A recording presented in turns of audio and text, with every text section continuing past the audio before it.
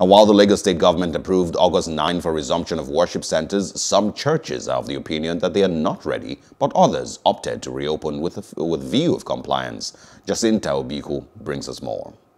Although the federal government had since the month of June lifted ban on religious gatherings, Lagos state government had suspended the planned reopening as a result of the rise in cases of the coronavirus pandemic in the state, which has been the epicenter of the virus in the country, but now have approved the restart of churches with some measures. Having left Ajao Estate, where almost all the churches there are fully open and conducting their normal services with the whole preventive measures in place, we are here in Victoria Island, precisely uh, City of David Church, to observe how it's going down here. It's been um, an interesting day.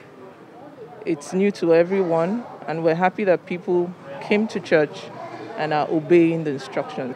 We've had about 80% compliance, though we've had some people that felt it's not necessary. Guideline has been generally en ensuring that people adhere to this uh, new way of doing church because people are used to hugging each other, they are used to shaking each other, and they haven't seen themselves for many months. You know, and so we've been very, very cautious to mark the floor to ensure that there is distancing in the queues and different places as well. Strongly discouraged elderly people from coming in. And if we see an elderly person, maybe above the age of 50, maybe not up to 65, coming into church, we have reserved special seating for them. Some of the church members expressed their views on the new changes. Yeah, it's better because we've been home for 140 days and it's not been easy watching service online. So for me to come to church and to observe all these few protocols, I don't mind. Prevention, they say, is better than cure.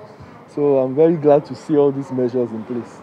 It gives everybody peace of mind and uh, I think it's the right thing to do.